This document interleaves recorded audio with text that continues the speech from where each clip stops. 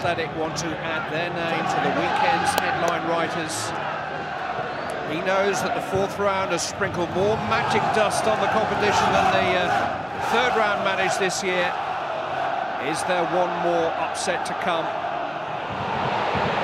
Lee Croft with a chance to volley into the penalty area. Changama will chase that. Still three blue shirts to aim for. Smith's there with a header. Oldham Athletic are in front inside two minutes. Incredible. Matt Smith has scored the goal. And this weekend of cup surprises is already promising another. His first goal for Oldham here at Boundary Park. He'll never forget it. When they want to try and get nick a few passes together and just keep it for a bit, can't keep just throwing it forward all the time. But they also must recognise that get it in that box when they can to the front two. Suarez leading the latest Liverpool raid. It's opened up a little bit for him. He's played a 1-2 off an Oldham player and equalised. Luis Suarez for Liverpool.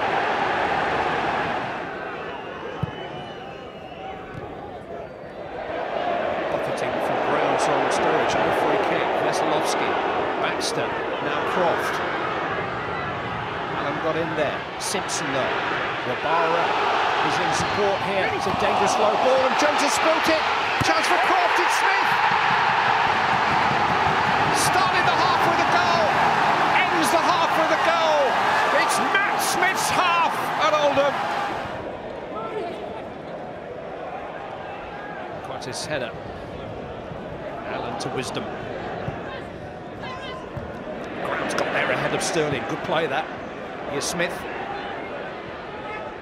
Winchester. It's a decent cross too. Wabara arriving at the far post. Oh,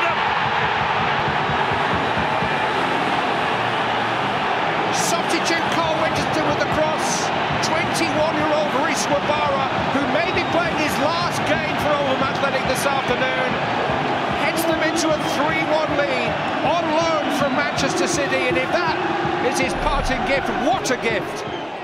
Quite been able to build that period of intense pressure No. you feel would make Oldham crack as yet. Downing though. Shot between the legs of the defenders came off Bouzanis. Good recovery by Mvoto. Corner. Yeah, just not the one that spilled off of Brad Jones for Smith's second goal. Downing always going to come inside there on his left foot, through the legs, and the goalkeeper perhaps should have done better in the end. Gets away with it. And towards Skrtel, followed by Allen. Joe Allen scores his first goal for Liverpool. Bang on cue to revive their hopes. They've got 11 minutes to find an equaliser.